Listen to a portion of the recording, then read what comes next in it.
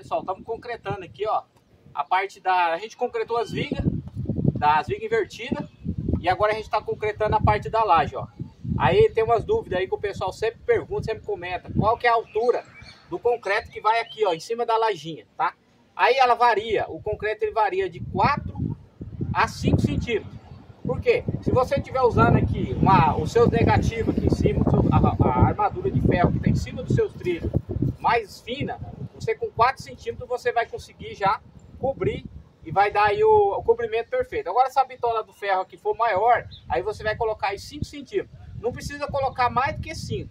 Achar que tem que colocar 10, 15 centímetros de concreto, você vai estar jogando dinheiro fora, beleza? Então aqui, ó, nós estamos usando ferro 8 milímetros, tanto aqui nos negativos que está acompanhando os trilhos, quanto esses ferros que está de, de, comprido aqui, ó, de travessado no, nos trilhos.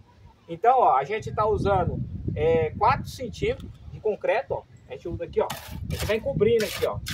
A lajinha, tá? Você pode considerar a lajinha, 4 centímetros. E outra dica aí que eu vou passar, que na hora que você estiver concretando uma, uma laje aí, uma marquise que vai ficar exposta no tempo, é bom você estar tá usando impermeabilizante, tá? Ó, usa aí o impermeabilizante no seu concreto já, já vai deixar seu concreto impermeabilizado, vai estar tá evitando é, da água passar daqui para baixo e atingir o reboco por baixo da marquise. Claro que depois você ainda vai ter que fazer uma preparação, passar algum produto, mas aí você já vai já preparando o seu concreto, porque se a umidade ela chegar ali, pouca umidade no concreto, passar da impermeabilização que você vai fazer e chegar no concreto, o seu concreto vai estar impermeabilizado, vai estar evitando de passar umidade lá pro reboco. Ó, eu estou usando aqui ó, o S, o S Concreto, tá?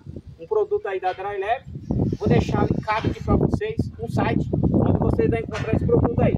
Então hoje a dica é, vai concretar a laje, é 4 a 5 centímetros de concreto aqui em cima da lajinha. Aí vai concretar uma laje que vai ficar exposta, usa o impermeabilizante já no concreto, o seu concreto já vai ficar impermeabilizado. Beleza? Valeu, fica a dica aí, um abraço.